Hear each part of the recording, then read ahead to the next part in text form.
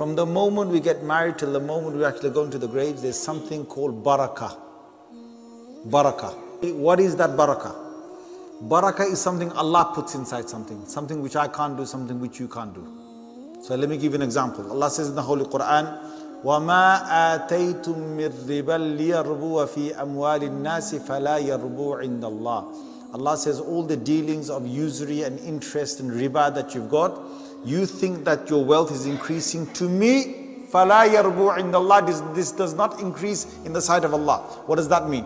The man had a hundred thousand pounds, he put it in the bank. The interest rate is 3%.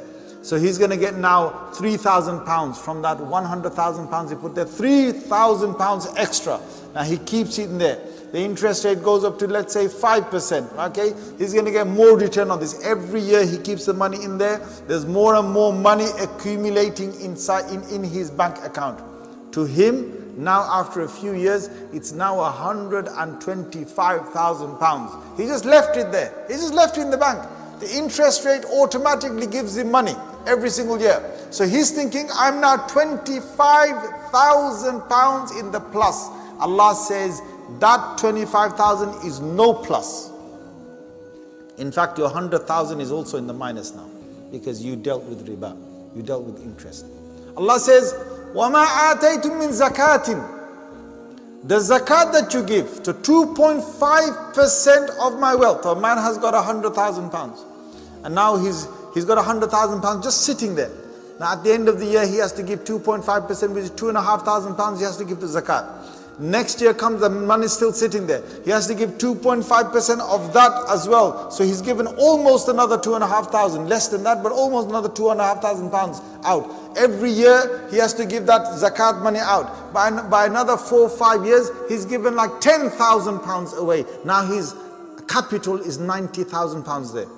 So this man is seeing that I have got 10,000 pounds less. Allah says in the Holy Quran, وَمَا آتَيْتُم مِّن زَكَاةٍ تُرِيدُونَ وَجْهَ اللَّهِ فَأُولَٰئِكَ هُمُ الْمُضْعِفُونَ Allah says, not only am I going to increase your capital because you gave zakah, I'm going to increase you.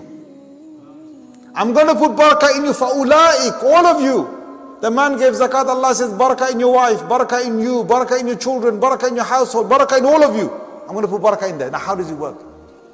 How it works is very strange. Me and you can't calculate that. The man who, who dealt with riba, with usury, with interest, he's got 125,000 pounds sitting in there. But Allah says, فَلَا يَرْبُوا عِنَّ اللَّهِ There's no barakah there. This is nothing's going to increase there. You know what happens? What happens is one way or another, that money doesn't seem to be enough. So let me give you an example.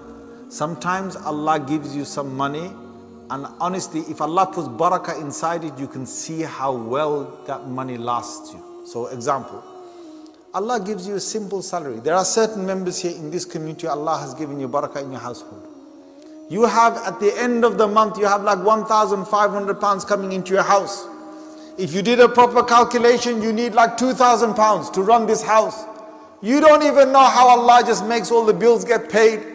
You don't know how Allah makes things last because you know the milk that you bring inside the house, that milk, subhanAllah, for a person who has got barakah in his house, the milk lasts two days longer than a person who has got no barakah in the house.